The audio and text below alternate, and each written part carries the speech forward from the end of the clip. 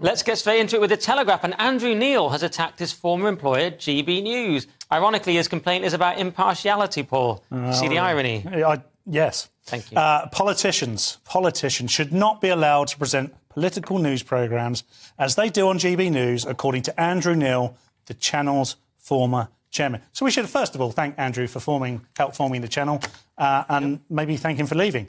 I'll leave that with uh, I'll, I'll, leave that with everybody else. You Help... giveth and you taketh away, Paul. Exactly. So, so what? What? Quite the dilemma. Mm. Quite the dilemma, really, because I'm sure there are Ofcom rules. I try to. I mean, the thing about Ofcom rules is you can change them. They were changed throughout the pandemic, you see, so that they so that we could have.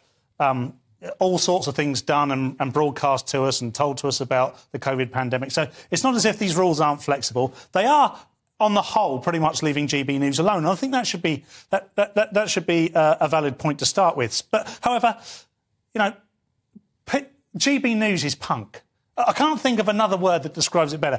GB News is punk. It's a bit like Millwall, right? People don't like us, but we don't care. Right. The idea is yeah. that they, we are giving voices to people that actually quite a few people would like to hear from. Yeah but a very small, loud minority don't want to hear from. Yeah, and I should say, loads of people love us across the country, but a small sort of media elite don't like us. That's where we're different from Millwall. I should point that out. But good point. And I, this is quite strange, actually, Lewis, because a few things here. And people say I mention Ofcom too much, but unfortunately, this story is about Ofcom. So, firstly, he's Andrew Neil saying we don't need politicians taking these jobs. But Michael Portillo was on his show this week for years and years and was excellent, and he's now on GB News. Another couple of things. Farage and Mogg are doing incredibly.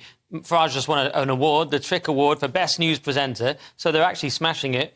And then he says they seem to be all conservative. But would a Labour MP do it? I'm sure we would have them if they would. And then lastly, he says, I'm just surprised that what Ofcom allows the channel to get away with.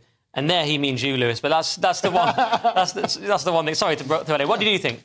I think I think you're right. It's like it's like well, first of all, all journalists are failed politicians and they're failed. Most of them are failed before they even start being politicians. It's like a, a politician just is sort of delayed in getting it. And, and, and what they're saying is, they're saying is, uh, if there was a channel where there were failed labor politicians, they would not complain. Why can't we have failed Tory politicians. Failed is strong. I mean, you know, yeah. Sir well, Jacob Rees-Mogg just been made a, a knight. I mean, is he, is he or whatever it is? But at the end of the day, at the end of the day, at the end of the day, whose business is it anyway? If people, if it's known that that someone is a uh, is a is a politician, and they're, it, they're, it's it's recorded that they're politicians, if if we want to have them on or they want to have them on, that's fine. If people want to watch them, that's fine. Why should we have the government telling us? But, yeah, there's no... does, it, does he have a point about when it's a, a politician, a conservative politician,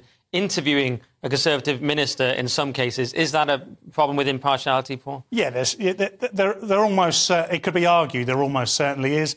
It's, you know, that where is, where would be the partiality? They're not that all Tory MPs agree with Tory MPs. No. The, the point I would make, it just echoes actually what Lewis was saying, is that there is, there, there's no smoke and mirrors here. They know that, uh, let's, yeah, let's call it as it is. Rees-Mogg, um, we know that he's a Tory MP. That's, that's not a secret. And it would be weird if his views weren't uh, conservative leaning. That would be odd. Mm. So that's not a secret either. And he's talking about the things that matter to him. So none of those things are a secret either. So yeah. there, there isn't as if anybody's trying to you know, I see secretly what you change Pull the wool over you. No, and on the on, on, the impartiality question, as if we didn't all know Emily Maitlis's views for years well, on exactly. Yeah. It was so obvious what her views were. Then Every... she quit, and it became even more clear. We, yeah. She knew she said thought what we always knew she did. Because impartiality is impossible. Yes. For they're possible for journalists to be impartial. It's possible for a, a TV station to be impartial, and and it's sort of a that's the problem with the, the problem is the BBC is the state broadcaster they're the state propaganda network they're pretending like they're not that they that they are impartial this whole concept of balance is ridiculous is that yeah, I see what you mean. I, I kind of agree. We should have the American system. Everyone just says what they want. It's clear that it's opinion. Anyway, you're in luck, Lewis, because he also says the BBC doesn't have the money to do much anymore and is in, is in trouble. So he, the only thing I'll say to just end is that um, I don't agree with Andrew Neil, but if a Tory politician takes my job, I might change my mind.